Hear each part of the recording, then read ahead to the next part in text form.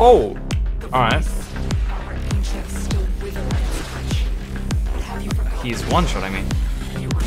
Alright. One-shot me through that. Yeah.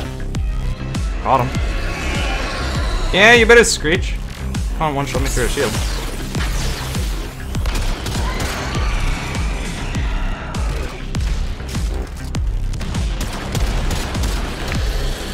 Oh! I thought he died. The Grope Aloli, the Flappy Flopolist, the Rufflecopter. Does it really matter what it's called when you can just kill it in under 5 minutes? I guess not. Let me show you how to smack this thing. Firstly, grab a fast frame and zip through the mission towards the boss arena. The faster you can get to this arena, the more time you will save.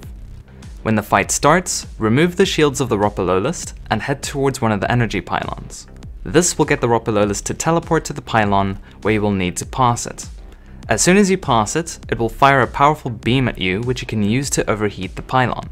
Hop onto the Ropalolyst and then fly it into the overheated pylon. This will destroy the pylon and you will need to repeat the process two more times. Before you repeat the process, make sure you destroy one of its rear limbs and then use the overcharge panel while it's injured. This will recharge its shields, which you can quickly take down while it is still struggling, and then head towards another pylon. Same situation as before, pass it, have it shoot the pylon, and fly it into the pylon. This will send it to the center once again, break the other limb, activate the panel, remove its shields, and then proceed to destroy the last pylon. All you need to do now is shoot it anywhere on its body to injure it until its health is gone, and then activate the panel one last time to finish it off. That's it. It shouldn't take too many tries to get the hang of it, and always watch out for its beams because it will kill you with ease. So, let's take a look at the builds. I have a standard Volt speed build with adaptation for more durability. You can easily replace any of these mods with their lesser variants. For the Rubico, I have a standard radiation build with a Riven mod. The Ropalolyst is vulnerable to radiation damage, which is why this build is good at one-shotting the boss. Amalgam Serration is optional, it just makes Volt faster.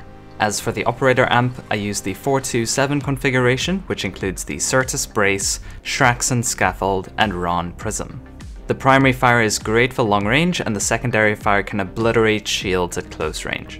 Lastly, I use the Zenurik Focus School with the Naramon Dash, which is very useful for speedrunning the boss fight. If I missed anything, let me know down in the comments below. Feel free to ask any questions you may have, and thanks for watching.